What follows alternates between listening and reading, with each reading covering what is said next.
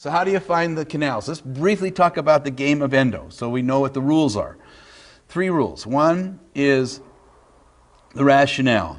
So if we take a tooth that has a dead pulp, even if it's draining through the sulcus, as long as the probing is precipitous, that is, the walls are parallel versus conical, which would make it a periodontal abscess, then we can clean and shape and pack. And here's the patient with a restored tooth by a, name, a guy named John Kois. Some of you know his name. 31 year post treatment. Maybe today you would remove it. This is 31 years ago. We didn't have implants. But just to show you, a lot of dentistry, if it's done well, can last a long time.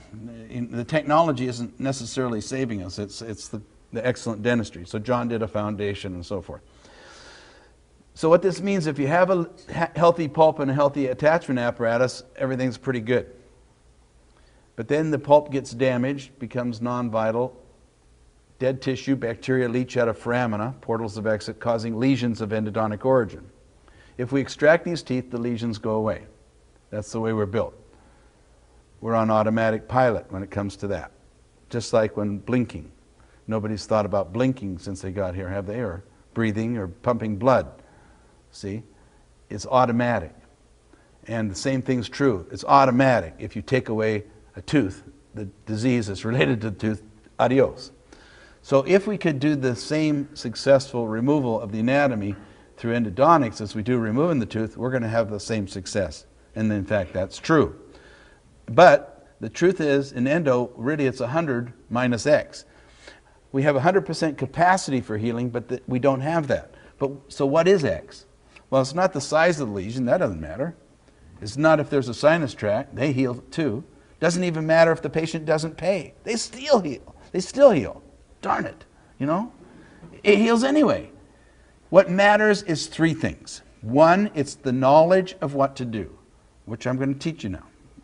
Not like you don't know it, but pretend like you're high school students. You just came in because it looked like something of interest, because you'll learn so much faster. You won't have to unlearn. So one is knowledge of what to do. Two is the skill to get there. We're, ta- we're going to talk that today. And the third one is what? Our willingness. And I can't, that's going to be up to you. So, what does this mean to you and me? When we see it, an endo, failure to seal the darn thing when you're short, say, it doesn't mean it's going to fail. But the reverse is true. When we see an, a lesion of endodontic origin, it's because it's not sealed. Our job as endodontic clinicians are to heal or prevent LEOs, lesions of endodontic origin. That's our job. And the source is that the contents of that tooth. So that's what this is all about. So the rationale of endo is very simple. Any endodontically diseased tooth can be saved if the endodontic system can be sealed, either non-surgically or surgically or both if the periodontal condition is healthy or can be made healthy, and of course has to be restorable. What's the point of doing it if it ain't restorable? So the first rule is the rationale. Second rule is nature doesn't make straight lines. They're all curved. She gives you a little straight line and then she throws a curve. She doesn't know how to make straight lines. Think about it. Even a laser shot into space bends because of uh, cholesterol, celestial um, uh, bodies bend it. So I don't know what the deal is about her and straight lines, but this is the way root canal systems are made. And I've written this, it's available for you, and I can, if you go to my website, you can get all this information, of course. And then the last one is nature doesn't make two things the same. Everything's unique. No two DNAs the same, no two snowflakes, no two trees, no two rocks, no two nothings. So you know this, everything's unique. She doesn't even make two faces the same, does she? I mean, look at all the faces here. How many variables do we have? Half a dozen? Mouth, ears, nose, varying amounts of hair, teeth, lips. And she's never made two people look the same. There's seven billion of us. Nobody looks the same.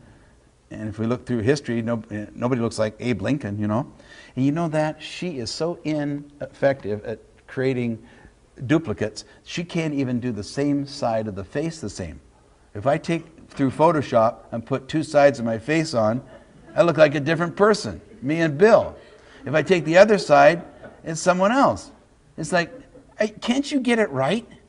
You can, you can, and you should do this with some of the really um, good-looking Hollywood type people, and you can make them look ugly. I can make Brad Pitt look ugly. So, anyway, this is what teeth look like. They're unique, they're novel, and they're curved. And if we understand that and just appreciate with every access, I never seen this roadmap before, but I know the rules of the game, and I got the right tools, and I have the right attitude. I know what to do next. It's going to be the 10 o'clock visit you can't wait for. Only man makes straight lines. Sometimes dentists look at this straight lines in this tooth. We know that's not what it looks like. So those are the rules. If we do it right, we're going to have success.